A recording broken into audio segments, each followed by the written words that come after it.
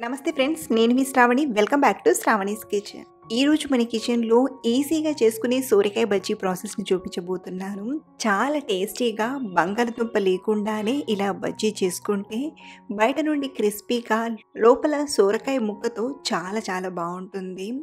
చాలామంది health issues కారణంగా బంగాళ తినలేరు. అలాంటి వారు ఇలా హెల్దీ వేరో సోరకాయ బజ్జీ చేసుకుని కమ్మగా తినేయచ్చు. ఈవినింగ్ స్నాక్స్లోకైనా లేదా పప్పు చారులో నంచుకుంటూ తినడానికైనా పర్ఫెక్ట్గా సెట్ అయిపోతాయి. మరి లేట్ చేయకుండా ఈ క్రిస్పీ సోరకాయ పకోడా ఎలా చేయాలో ఇప్పుడు చూద్దాం రండి. ఇక్కడ నేను సోరకాయ బజ్జీ కోసం కాస్త లేతగా కొంచెం సన్నగా ఉండే సోరకాయను తీసుకున్నాను. ముందుగా బాగా కడిగి సగానికి కట్ చేసుకుందాం. అంటే మనం సోరకాయ బజ్జీల్ని చేసే క్వాంటిటీని బట్టి సోరకాయను పెంచుకునైనా తీసుకోవచ్చు. ఇక్కడ నేనైతే ఈ సగం సోరకాయ ముక్కతో బజ్జీలను ప్రిపేర్ చేస్తున్నాను. ముందుగా సోరకాయ పైన పొట్టును పీలాప్ చేసేసి ఆ తర్వాత చక్రల్లా కట్ చేసుకుందాం. సో ఇలా ఆనపకాయ పైన ఉన్న పొట్టంతా పీలాప్ చేశాక నైఫ్తోనే మరీ సన్నగా కాకుండా కొంచెం థిక్నెస్గా చక్రాల్లా కట్ చేయండి. మరి ఆలు చిప్స్ అంతా సన్నగా కట్ చేయకండి. చూడండి మనకు సోరకాయ స్లైసెస్ అనేవి ఇలా ఈ థిక్నెస్లో ఉంటే సరిపోతుంది. ఇలాగే సోరకాయ ముక్కల్ని ఇలా స్లైసెస్లా అన్నీ కట్ చేశాక మిగతా ప్రాసెస్ చేసేంతలోపు ఇవి నల్లగా అవ్వకుండా ఉండడానికి నీళ్ళల్లోకి ఒక టీ స్పూన్ ఉప్పుని తీసుకొని మనం కట్ చేసిన సోరకాయ ముక్కల్ని తీసుకోండి. దీని వలన ఎంత టైం అయినా కానీ సోరకాయ రంగు మారకుండా చాలా బాగుంటుంది. మీరు కావాలంటే ఒకసారి కడిగి ఇంకొక గిన్నెలోకి తీసుకునైనా పెట్టొచ్చు. అలా చేసిన సోరకాయ రంగు అనేది మారదు. ఇప్పుడు పిండిని కలపడానికి ఇంకొక మిక్సింగ్ బౌల్ని తీసుకొని ఇందులోకి ఒక ముప్పావు కప్పు శనగపిండిని తీసుకోండి. అలాగే ఇందులోకి పావు కప్పు కంటే కొంచెం ఎక్కువ అంటే వన్ థర్డ్ కప్ వరకు బియ్య పిండిని తీసుకోండి. ఇందులో బియ్య పిండి కంపల్సరీగా యాడ్ చేయాలి. మనం బియ్య పిండి వేయకుండానే చేస్తే బజ్జీలు అనేవి సాఫ్ట్గా వస్తాయి. సో బజ్జీల పైన లేయర్ అనేది క్రిస్పీగా రావడానికి బియ్య పిండిని తీసుకోండి.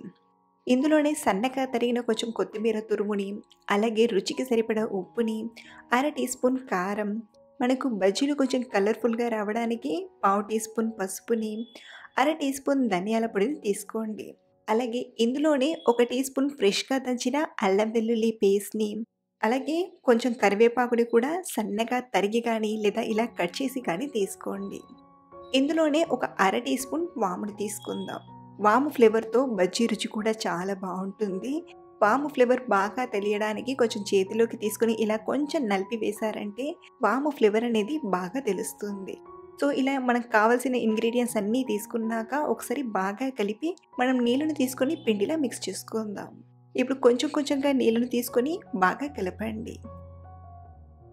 ఫస్ట్ కొంచెమే నీళ్ళను తీసుకొని ఒకసారి బాగా కలిపాక ఆ తర్వాత పిండి కన్సిస్టెన్సీకి సరిపడా నీళ్ళను తీసుకొని కొంచెం జారుడుగా అంటే సోరకాయ ముక్కకు కోట్ అయ్యేలా కలపండి. పిండి మరీ చిక్కగా కలపనవసరం లేదు. అలా అని మరీ పలచగా కూడా కలపకండి. చూడండి మనకు కన్సిస్టెన్సీ అనేది ఇలా ఈ మాదిరిగా ఉండాలి. ఇలా మనం పిండిని కోట్ చేస్తే స్పూన్కి ఇలా కోటింగ్ అయ్యేలా ఉండాలి. ఇలా కలిపామంటే సొరకాయ ముక్కలకు పిండి అనేది మరీ ఎక్కువగా కాకుండా కరెక్ట్గా కోట్ అవుతుంది. సో పిండిని ఇలా కలిపాక మరో పక్కన డీప్ ఫ్రైకి సరిపడా ఆయిల్ని తీసుకోండి.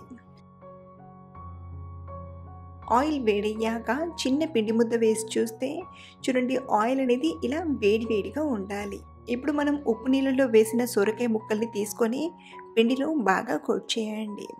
ఇలా మీరు కోట్ చేసేటప్పుడు పిండి మరీ ఎక్కువగా అనిపిస్తే గిన్నెకు లైట్గా ఆనిచైనా తీసుకోవచ్చు.